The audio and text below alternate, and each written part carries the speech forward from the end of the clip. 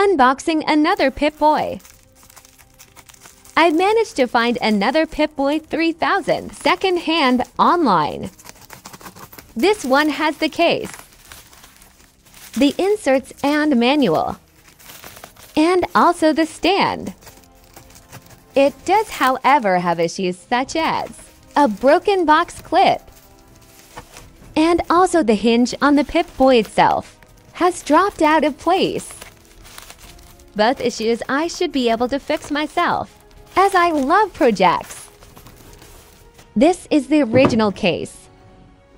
As you can see, there is only one black clip on the sides. One is snapped off, but I can make a new one. It's a bit fiddly to open because of this issue, but it's not a problem. This is actually the second broken one I have purchased. Inside, we have everything as new. Original packing. The Pip-Boy itself.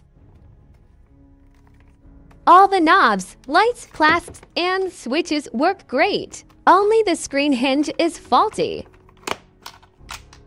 I didn't show that here. We have to be resourceful in the wastelands. Between the two of them, I'm certain that I can get both up to a great standard. These are extra inserts and foams for a phone. Also, they are spares and exactly what I need to give this one in the background and new screen. I didn't expect all the manuals to come with it. So that was a great bonus. It even came with the original stand too which the listing didn't even show. So overall, I'm extremely happy with this addition. I'm going to use what I have between the two, Pip-Boys, and get both looking and working as new. I might even customize one of them. A Nuka-Cola theme is calling me.